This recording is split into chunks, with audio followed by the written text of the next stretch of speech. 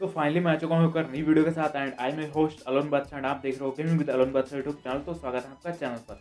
अब बात करते हैं वीडियो के अपडेट की। तो आज की वीडियो होने वाली हमारे सबसे ज़्यादा फ्री फायर के जो प्लेयर सर्च कर रहे हैं इस टाइम वो है free fire ban in India मतलब कि फ्री फायर बैन इंडिया में होगा या नहीं होगा तो सारी कहानी समझाऊँगा कैसे ये एप्पल स्टोर से गायब हुआ कैसे प्ले स्टोर से गायब हुआ पबजी वाला क्या मैटर है और एयरटेल सिम की क्या है ठीक है? सब कुछ बताऊँगा इस, इस पूरी वीडियो में तो वीडियो का अंत तक ज़रूर से देखना। अगर वीडियो अच्छी लगे लाइक ज़रूर से कर देना इस वीडियो को शेयर भी कर देना अपने जितने ज़्यादा दोस्तों के साथ शेयर कर पाओ ठीक है? तो चलो करते हैं वीडियो को स्टार्ट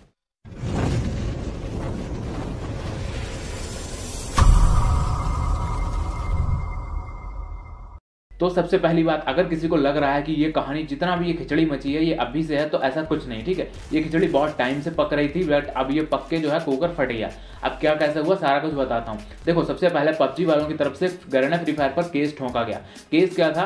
केस था कि अपनी जो फ्री फायर है, वो काफ़ी सारी चीज़ें कॉपी करती है पबजी की, ठीक है? तो ये बात मैं कहीं ना कहीं मानता हूँ, मैं भी एक फ्री फायर प्लेयर हूँ, लेकिन हाँ ये बात सच है कि फ्री फायर ने काफ़ी सारी चीज़ें कॉपी की हैं पबजी की, और कुछ टाइम पर पबजी ने भी कॉपी की है फ्री फायर की, ठीक है? ऐसा नहीं है कि दोनों गेम जो है, धुले हुए, दूध के धुले हुए, ऐसा कुछ नहीं, ठीक है? दोनों ने एक दूसरे की कॉपी की है बट फ्री फायर ने ज़्यादा कॉपी की है, ठीक है? तो इस वजह से पबजी वालों ने जो था केस डाल दिया फ्री फायर के ऊपर कि ये फ्री फायर जो है, ये इसमें इन्वॉल्व है और इसे जो है मतलब जो भी पनिशमेंट या जो भी इनका जुर्माना वगैरह होता है, वो फ़िलहाल हाई लेवल की चीज़ है।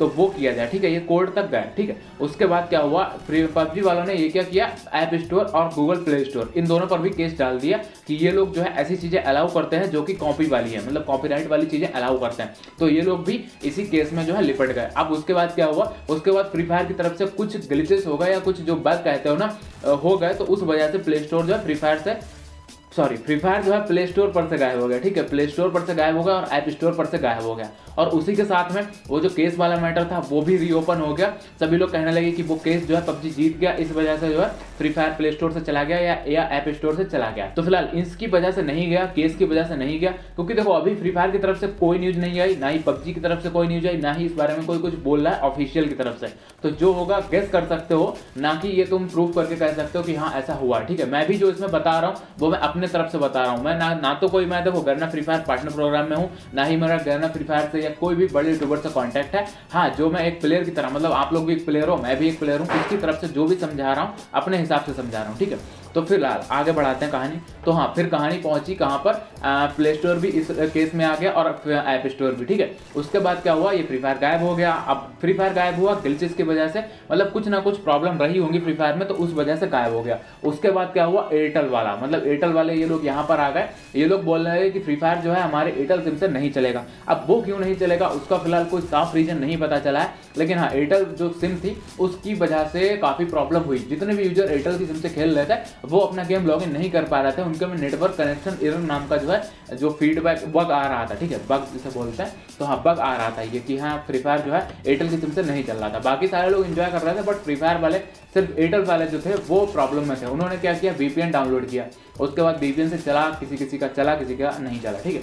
तो ये प्रॉब्लम फ़िलहाल अलग थी। उसके बाद फिर कहानी आ गई इनकी केस की, ठीक है? कि केस जो है, वो जीत गया। उसी केस के बीच में ही एक लिस्ट जारी होती है गवर्नमेंट ऑफ़ इंडिया की तरफ़ से कि इसमें जो है फ्री फायर इल्यूमिनेट जो कि अपना फ्री फायर है गराना फ्री फायर इसे जो है बैन कर दिया गया। अब ये बैन तो हुआ है, ठीक है? बैन हुआ है बट अभी भी चल रहा है। तो अभी भी ये कैसे चल रहा है? ये पबजी वाला जब पबजी बैन हुआ था ना, पबजी भी कुछ टाइम तक चलता रहा, ठीक है? कुछ टाइम तक चलता रहा, उसके बाद बंद हो गया, ठीक है?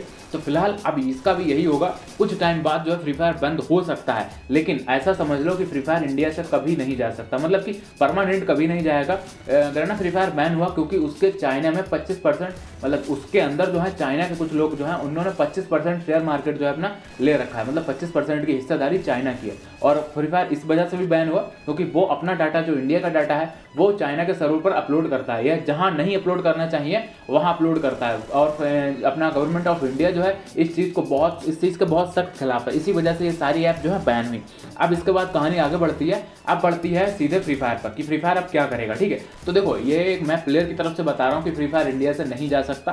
पहली बार इंडिया से इसकी इनकम बहुत है, ठीक है? अगर आप एक फ्री फायर प्लेयर हो तो आपको भी पता होगा कि अपने इंडिया में बहुत सारे ऐसे प्लेयर हैं जो मंथली में लाखों रुपए उड़ाते हैं फ्री फायर पर, ठीक है? तो जब जिस जिस चीज़ को यार किसी अगर एक देश से बहुत ज़्यादा प्रॉफिट होगा तो वो दूसरे देश को ज़रूर ज़रूर छोड़ देगा, ठीक है? इसके पच्चीस परसेंट जो शेयर है, वो ये वापस कर देगा या कुछ भी अपना सोल्यूशन निकालेगा, लेकिन ये इंडिया में रहेगा। इंडिया के जितने भी गवर्नमेंट ऑफ़ इंडिया इसके लिए रूल बनाएगा, वो सारे मानेगा, ठीक है? मजबूरी में मानना पड़ेगा, क्योंकि पहली बार इसका फ़ैन बेस इंडिया में बहुत तगड़ा है, बहुत सारे इसके कट्टर फ़ैन है, जो कि मतलब नौ साल की ऑडियंस भी बोली जाती है, फ़िलहाल वो सारी बातें अलग है बट हाँ इसकी फ़ैन ऑडियंस बहुत है यहाँ पर, और इसका जो है पैसा मतलब इनकम बहुत होती है इंडिया से तो ये इंडिया से नहीं जाएगा। हाँ ये मान सकते हैं कि कुछ टाइम बैन होने के बाद वापस आ जाए। जैसे बांग्लादेश में बैन हुआ था, चार महीने लगभग पाँच महीने बैन हुआ था, उसके बाद वो वापस आ गया था और वही सेम पबजी के साथ हुआ था। पबजी भी कुछ महीने तक बैन रहा पबजी महीनों नहीं साथ एक साल के लगभग हो गए फ़िलहाल, मेरे को कंफर्म नहीं है बट हाँ पबजी काफ़ी ज़्यादा टाइम के लिए बैन हुआ। उसके बाद नाम चेंज किया गया बीजीएमआई हो गया। उसके बाद उसका जो रेड कलर का जो ब्लड होता है, वो ग्रीन कलर में हो गया। तो ऐसे छोटे मोटे चेंजेस करके जो है, पबजी बीजीएमआई के नाम से वापस आ गया। तो वही इसका हाल होगा। फ़िलहाल अभी के लिए आप फ्री फायर चलाओ, जब तक चल रहा है चलाओ। और मतलब एक्स्ट्रा के लिए फ्री फायर मैक्स को डाउनलोड कर लो, क्योंकि वो अभी प्ले स्टोर से नहीं गया है। तो आई होप यार इस पूरी कहानी में समझ में आएगा कि क्या, कहाँ पर, कैसे हुआ।